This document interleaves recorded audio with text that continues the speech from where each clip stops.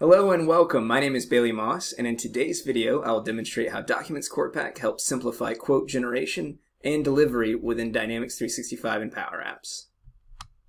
So first thing I'm going to do is go ahead and open up my demo instance, which is going to be the Sales Hub within Dynamics 365 Unified Interface. From there, I'm going to navigate to my quotes, and these documents can be triggered via the view or a single record. So I'm going to go ahead and open a single active quote record.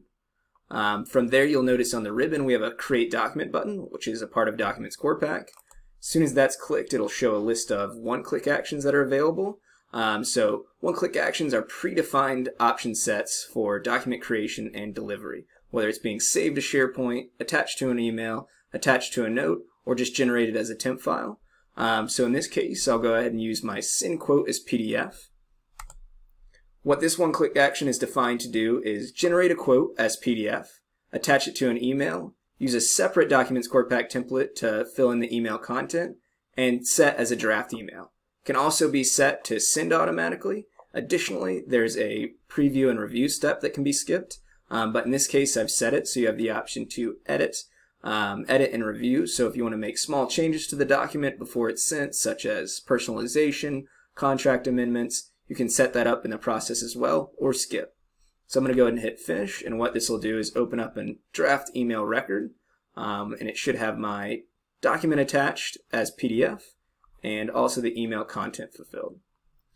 So what you can see here is it's got my quote attached, setting the name dynamically of the quote, and it's brought in all the information from the quote as well as related records. So it's going to the um, customer information, so Coho Winery, the quote number, created on date, quote record, uh, one-to-many relationship of the quote products, and so and also the quote total, um, and then static text as well as valid to info, um, and it's all set as a PDF, and it's saved as a PDF as well.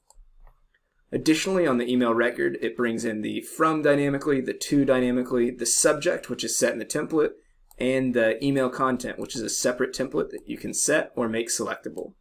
Um, so in this case, it's bringing in the primary contact's first name, the quote number, and the signature dynamically. Additionally, besides using the one-click actions, you can also automate this process via Power Automate Flow or Dynamics Workflow. So to give you an idea of what that looks like, I'll go ahead and open up Power Automate. And from here, I'll go to My Flows. And this is just a simple example I created based on quote activation. So as soon as the quote is set to active, it will trigger this flow. And what you'll notice is this is only a single trigger, of course, because it's limited to a single trigger, and only seven actions to, to create and send this quote, same as the one-click action.